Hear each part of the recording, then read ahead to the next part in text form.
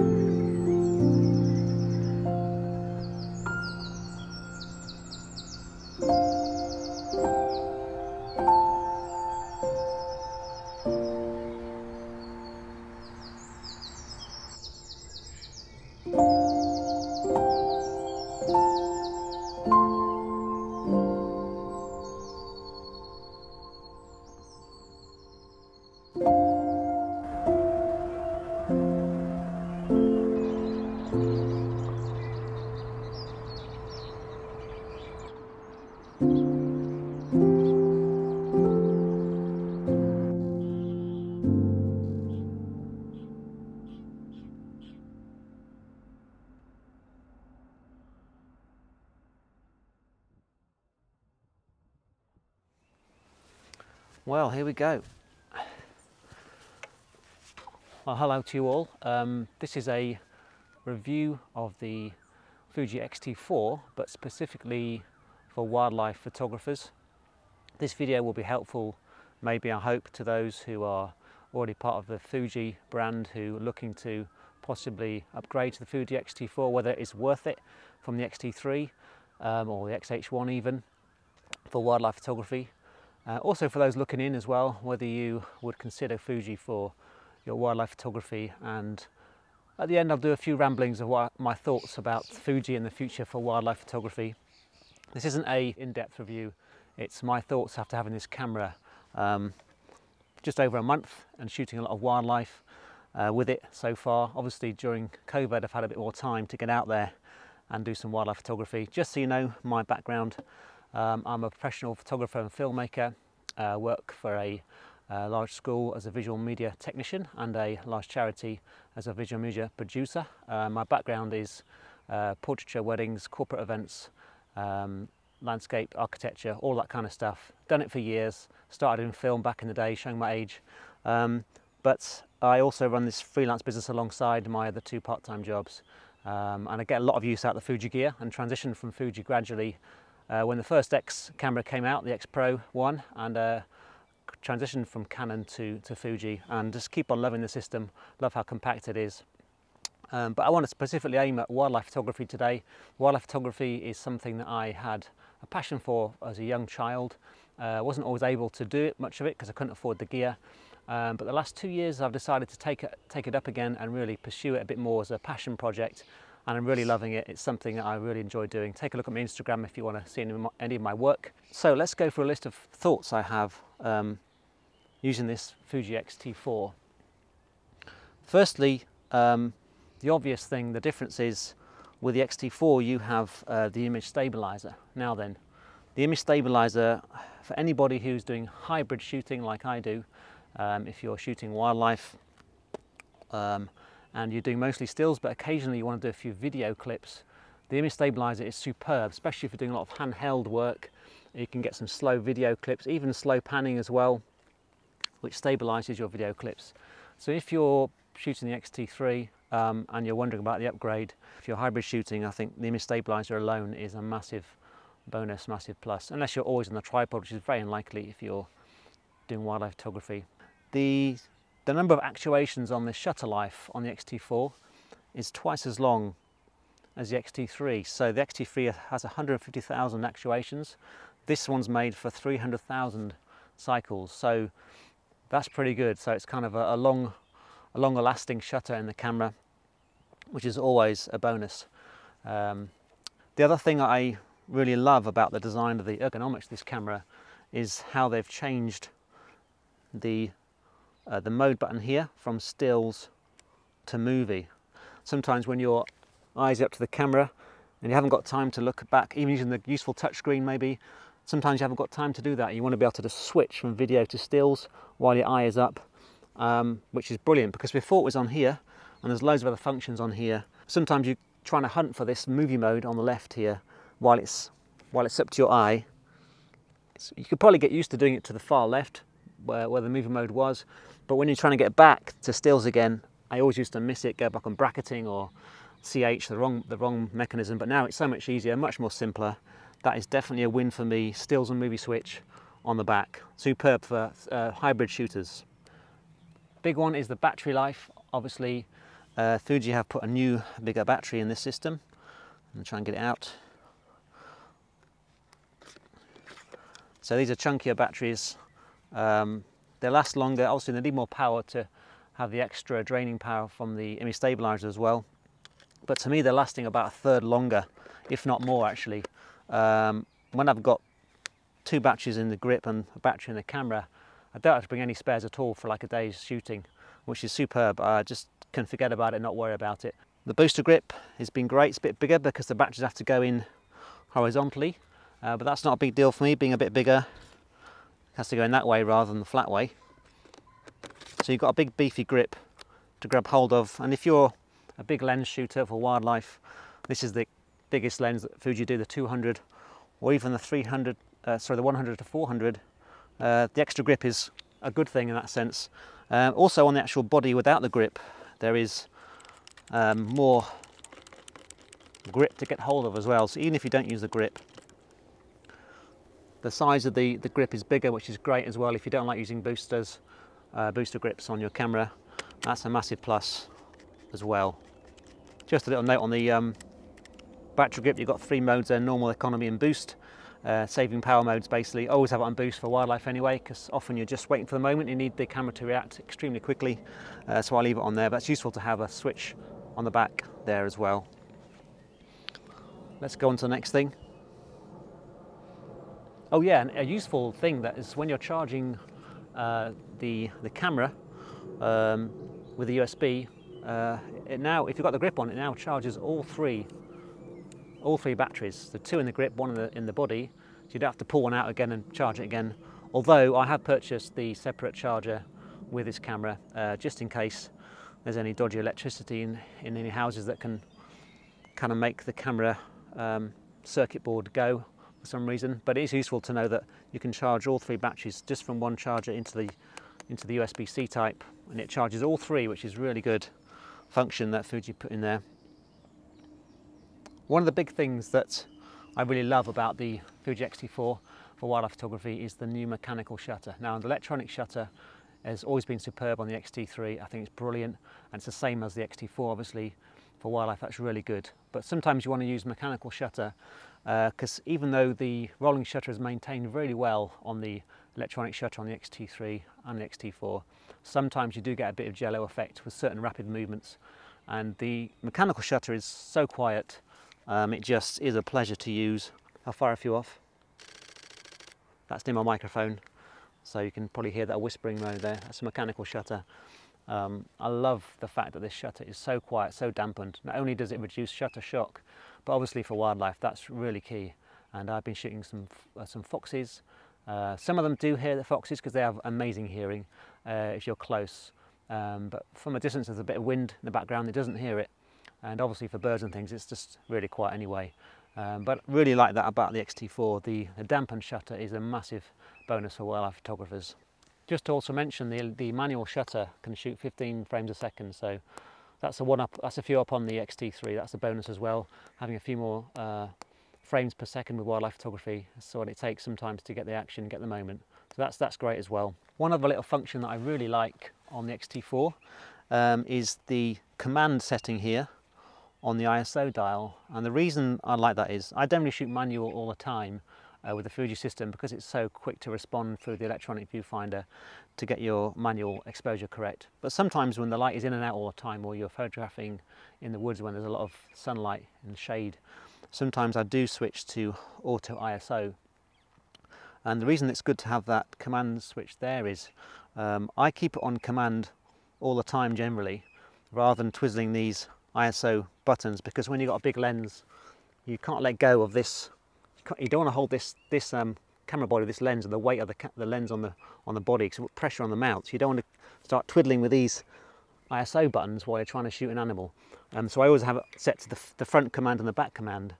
Um, before you had to re reassign the auto ISO setting for the X-T3 uh, to alter the ISO for the command at the front button.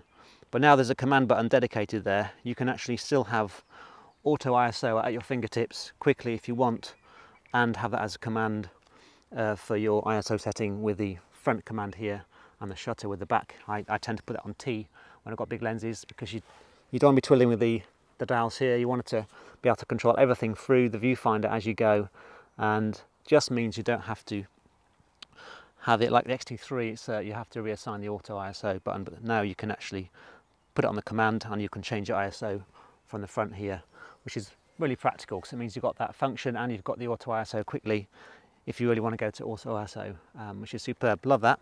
Also, um, another interesting observation is when I used to have an auto ISO with the X-T3, it didn't display my ISO uh, setting for the viewfinder when I had it on auto ISO, what I was, what I was going to shoot it at. Uh, but that's a funny thing, it didn't do that. Um, hopefully it will do it on an upgrade, a firmware upgrade, but it does on the X-T4, so it shows your uh, ISO um, when you're on auto ISO with the X-T4, which is common sense really. Just another point is the, the focus the focus point in the camera can go down to a really small square as on the X-T3 but um, you can't on the, the filming with X-T3 on the video but now you, you can with the X-T4 so the focus point square will go really small for video as well they could change that in a firmware upgrade, hopefully for X-T3 users, but really useful for filming. Uh, one big thing um, is obviously the, the flip screen. So this was hotly debated, um, obviously because of so much vlogging going on nowadays and video work. Uh, very handy for people who are doing mixed, a mixture of video and stills. Um, I know many people have different opinions about this. Fuji can never make everyone happy because there's always uh, some people who prefer the traditional flip out screen with the with the vertical um, function but actually you can do the vertical function like this quite easily as well on this camera um, on the whole because of what I do I do a bit of video quite a bit of video as well um, I do like the flip screen that goes fully out because I can do um, to camera work on the video but also another thing I really actually like is to be able to put the the LCD screen away. Um, I actually love shooting without the LCD here.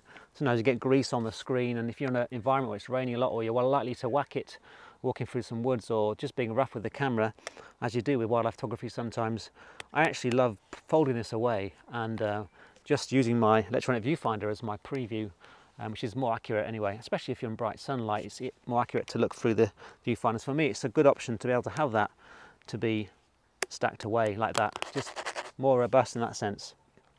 So I actually prefer it, but I know that people will differ on that one. So the, the camera is also um, capable of 240 frames per second video uh, slow-mo at HD, which is pretty amazing. I did do some test footage, not a lot, but and I found that it was it was it was fine. It was okay for like general fun use and uh, just experimenting with slow motion. But I did see a bit of more uh, kind of artifacts in that. Uh, the quality dropped a bit from the 120p slow-mo HD. So I'd, I'd, probably stick to 120 and use the 240 if I really wanted to uh, get something dramatic but wasn't too ultra um, concerned about the high quality. Um, I tend to like shooting 4K 60p and slowing it down, but obviously you sometimes need it a bit slower than that. but that's not a massive selling point for me anyway, but not a big deal, but still fun to use for certain moments. I've also um, found that the, the focus has been uh, quicker um, as well, which is obviously the Fuji have improved the focus speed. Uh, they may improve that on X-T3 with firmware upgrades, I'm not sure, but they won't do it quickly, I would have thought, because they need to sell more X-T4s.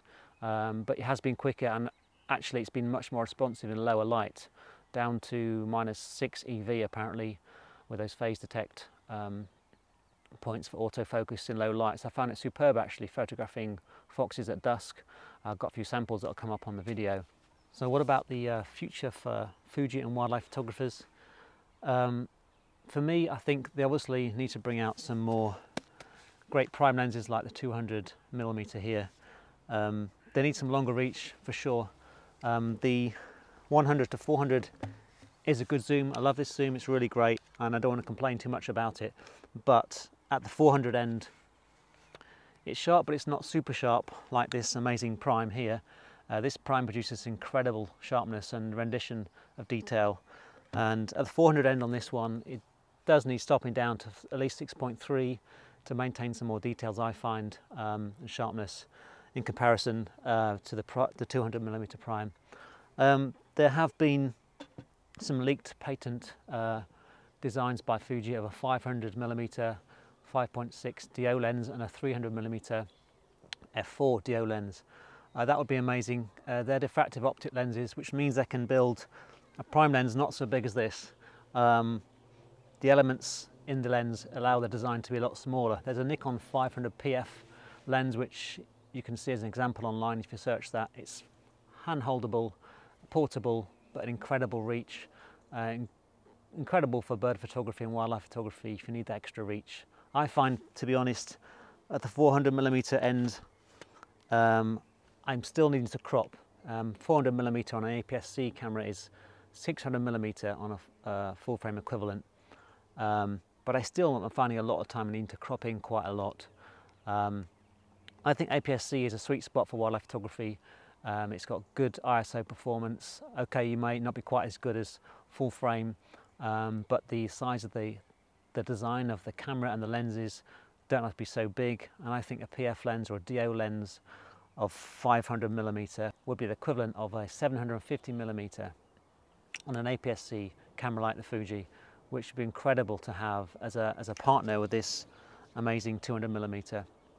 Or if you if they bring out the the 300 f4 as well those two together would be brilliant for wildlife photography. Um, I think it'd be great if they can do that but obviously it's difficult at the moment with the economic climate with COVID and they can't take too many risks.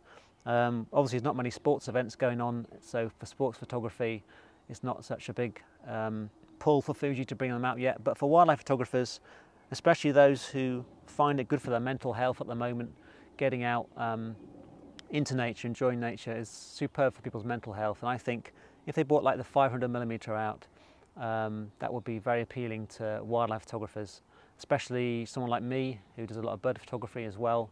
Um, that would be incredible to be able to walk around with a 500 millimeter 5.6, uh, 750 millimeter equivalent lens, um, hand holdable, portable. That would be supreme for wildlife photography. So I hope they can bring it out. We'll see. I can't complain with the, the kit I've got at the moment anyway. It's superb stuff. Um, what about the future for the next Fuji XH1, so XH2? I'm guessing that there's rumours they might bring it out in the some point in the new year. Um, what could they do to that camera to improve it for wildlife photographers? Um, I think the build quality of the XH1 is great, what it's made of. Um, there's a big debate, I guess, about whether they should have an inbuilt grip on the XH2 obviously sports photographers, wildlife photographers generally don't want to be fussing around with another um, accessory that comes on and off the camera. On occasions, on all my battery grip cameras, occasionally I have to just tighten these up occasionally after a while because they get a bit loose. Um, I think there's a, a, mixed debate about this. Obviously, we have a battery grip on it permanently. If it's part of the actual unit, it's going to be bigger. But if you're shooting sport or wildlife, you're going to want more grip anyway for big, big lenses. So it's a difficult one. I'm undecided whether they should make an uh, integrated grip or not, or whether they should have it separate. I think on the whole, I think an integrated grip would be better for wildlife photographers and sport photographers. Um, but I know some people will differ on that, especially if you've got a smaller a DO lens or a PF lens where you may not need such a big grip because it's a smaller lens. But for me, obviously, having um, more durability um, just with wildlife and less less uh, gaps to let the rain seep into another weather seal, but not, there's always some compromise somewhere when you have to build another part of the camera body. Uh, also, they need to make this, on the XH2, they need to make this flippy screen out of more solid material, uh, more robust material, and also these little ports where the USB-C attachments go in, they can make that more solid as well, so it's just uh, more um, durable. Sony have uh, uh, will be making more sensors and there's a 43 megapixel uh, square pixel sensor that's been patented um, which could come in the XH2, it's been rumoured to. Uh, that would be superb. It's always good to have some more um, resolution but not the expense of ISO low light performance and I think, uh, a square pixel sensor design would make that possible and it's always good to be able to crop a bit more with wildlife photography um, but as I say I think the 500 millimeter lens for me uh, that DO lens would be extremely um, useful for me alongside this 200 millimeter and I look forward to the time they may bring it out. They may not bring it out but I hope they do and um, let's see what uh, the future brings for Fuji and wildlife photography. Hope that was interesting and helpful for you. Um, stay safe everyone and uh, God bless.